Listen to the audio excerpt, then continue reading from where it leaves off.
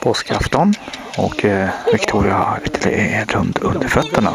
Druckit för mycket cider och vin och sprit och sitter här och diskuterar på en hög nivå standard. Professor på rymden. Jag har fått fuss en massa.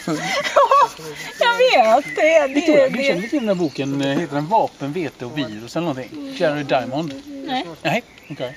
Vem har, alltså Clary Dem, alltså har hon Åh, kommit ut nyligen? Nej, den är gammal. Nej, nej, nej. Den är gammal. Den är Ändå är det 15 lätt att kanske få år eller 20. Vad sa den hette? Virus? Jag tror den heter Vapen, vete och virus eller någonting. Människans historia.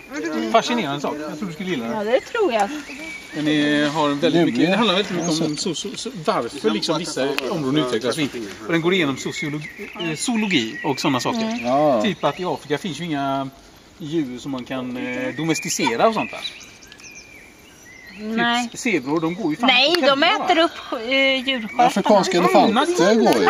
Nej! Eh, Ja, i och för sig, men zebrorna är orsaken till de flesta djurskötares död. Ja, ja. Det är det. Det är mycket möjligt. Det finns eh, sant. i den här boken står massa häftiga grejer. Bland annat en sån sak som att inte ens den bästa cowboyen i Texas kan få eh, vad heter det, lassot runt halsen på en zebra. Nej, de kan inte. Zebror har jättebra ja, sidoseende.